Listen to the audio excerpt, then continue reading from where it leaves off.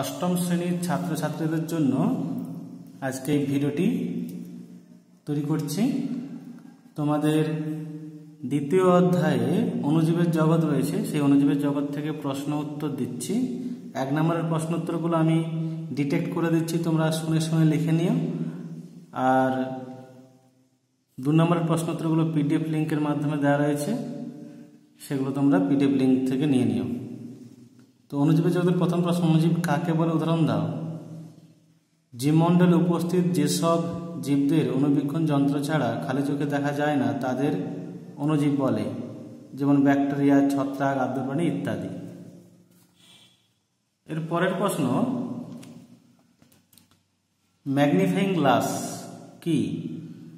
যে গ্লাস বা কাচের সাহায্যে কোনো বস্তু বা জীবকে স্বাভাবিক আকার আকৃতির তুলনায় বিবর্জিত দেখায় সেই রকম গ্লাস বা কাঁচকে ম্যাগনিফাইং গ্লাস বলে, যেমন অনুবীক্ষণ যন্ত্রের লেন্স আতস কাচ এইসবগুলো। এরপর চলে আসো, একটি থার্মোফিলিক ব্যাকটেরিয়ার নাম লেখো। একটি থার্মোফিলিক ব্যাকটেরিয়ার নাম লেখো। উত্তর থার্মাস অ্যাকোয়াটিকাস এরপর স্টেইন কাকে বলে? উদাহরণ দাও। অনুজীবদের অনুবীক্ষণ যন্ত্রের মাধ্যমে দেখার জন্য বিশেষ কিছু রঞ্জক ব্যবহার করে রাঙিয়ে নিতে হয়। এই রঞ্জকগুলোকে বলা হয় স্টেন, আর এই রঞ্জক ব্যবহার করে রাঙিয়ে নেওয়ার মাধ্যমে যে পদ্ধতির অবলম্বন করি, তাকে বলছি আমরা স্টেনিং পদ্ধতি। এরপরে দেখো উদাহরণগুলো আছে, মিথিলিন ব্লু ইওসিন ব্যাকটেরিয়াকে নামকরণ করেন। উত্তর এরেন বার্গ এ রয়িকা দন্তন বয়াকার গয়রেন এরেন বার্গ এর পরের প্রশ্ন, ব্যাকটেরিয়া কোন গোষ্ঠীভুক্ত জীব? উত্তর, মনেরা গোষ্ঠীভুক্ত জীব। এরপরের প্রশ্ন দেখো, ম্যালেরিয়া রোগ সৃষ্টিকারী আদ্য প্রাণীর নাম লেখো। ম্যালেরিয়া রোগ সৃষ্টিকারী আদ্য প্রাণীর নাম লেখো।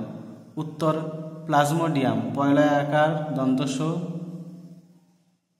প্লাস মো, ময়কার মো, ডি লস্যই অন্তস্থাকার মো, প্লাজমোডিয়াম। পরের প্রশ্ন, হাইফি। হাইফি কি? ছত্রাকের মূল সদৃশ, কিন্তু মূল নয়, এমন সরু সুতোর ন্যায় সূক্ষ্ম যে গঠন, তাকে বলা হয় হাইফি। এর পরের প্রশ্ন দেখো, মাইসেলিয়াম কি? ছত্রাকের সূক্ষ্ম সরু সুতোর ন্যায় হাইফি জালক আকারে অবস্থান করলে তাকে মাইসেলিয়াম বলে। ছত্রাকের সূক্ষ্ম সরু সুতোর ন্যায় হাইফি জালক আকারে অবস্থান করলে তাকে মাইসেলিয়াম বলে। এর পরের প্রশ্ন এককোষী খাদ্য উপযোগী শৈবালের নাম? এককোষী খাদ্য উপযোগী শৈবালের নাম লেখো। উত্তর হবে ক্লোরেল্লা। একে মহাকাশ যানেও ব্যবহার করা হয়। বায়ু পরিশুদ্ধর জন্য, অক্সিজেনের জন্য, কার্বন ডাইঅক্সাইডকে কমানোর জন্য। ভাইরাস কথাটি কে প্রথম ব্যবহার করেন? উত্তর বেইজেরিঙ্ক। বয়কার হস্যই, বর্গজয়িকা, রহস্যই ময়ক বেইজেরিঙ্ক। এর পরের প্রশ্ন যদি দেখি, তাহলে দেখব কি নিকলেট বা জেনোফোর কাকে বলে? নিকলেট বা জেনোফোর কাকে বলে? ভাইরাসের জিনোমকে ভাইরাসের জিনোমকে জেনোফোর বা নিকলেট বলে, যেটি দ্বিতন্ত্রী পেঁচানো থাকে। পরের প্রশ্ন, দুটি ব্যাকটেরিয়া ঘটিত রোগের নাম? দুটি ব্যাকটেরিয়া ঘটিত রোগের নাম কলেরা যক্ষা জলের মাধ্যমে ছড়ায় এমন রোগের নাম লেখো, জলের মাধ্যমে, কলেরা ডায়রিয়া।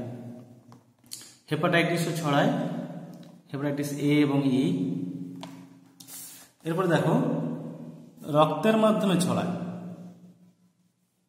রক্তের মাধ্যমে ছড়ায় এমন রোগের উদাহরণ। এইডস হেপাটাইটিস এরপরে একটি মিথুজীবী জীবের নাম লেখো। একটি মিথুজীবী জীবের নাম লেখো। রাইজোবিয়াম। একটি স্বাধীনজীবী জীবের নাম লেখো। অ্যাজোটো ব্যাক্টর একটি স্বাধীনজীবী জীবের নাম অ্যাজোটো ব্যাক্টর তোমরা স্ক্রিনশট করে নিতেও পারো। দেখে দেখে লিখে নেবে।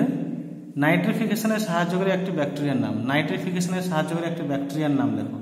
নাইট্রোব্যাক্টর। নাইট্রোব্যাক্টর। প্রথম আবিষ্কৃত অ্যান্টিবায়োটিকের নাম লেখো। প্রথম আবিষ্কৃত অ্যান্টিবায়োটিকের নাম। উত্তর হবে পেনিসিলিন। প্রথম আবিষ্কৃত অ্যান্টিবায়োটিকের নাম। উত্তর পেনিসিলিন। শেষ শর্ট কোশ্চেন ডিপথেরিয়া রোগে কোন টিকা দেওয়া হয়? ডিপথেরিয়া রোগে কোন টিকা দেওয়া হয়? ডিপিটি এরপরে বড় প্রশ্ন উত্তর রয়েছে বড় প্রশ্ন উত্তরগুলো তোমরা, বড় প্রশ্ন উত্তরগুলো তোমরা পিডিএফ ফাইলের মাধ্যমে পাবে। এখান থেকে স্ক্রিনশট করতেও পারো আর পিডিএফ ফাইল থেকেও লিখতে পারো। বড় প্রশ্ন উত্তর যেগুলো এই চ্যাপ্টারের জন্য ইম্পর্ট্যান্ট বা এই প্রশ্ন উত্তরগুলো করলেই চ্যাপ্টার থেকে মোটামুটি সম্পূর্ণ হবে। এরকম কিছু প্রশ্ন উত্তর এখানে দেওয়া রয়েছে, তোমরা এই প্রশ্ন উত্তরগুলো পিডিএফ ফাইল থেকে নিয়ে নেবে। আজকে এই পর্যন্তই, অন্যদিন এর পরের চ্যাপ্টারের প্রশ্ন উত্তর নিয়ে আসবে।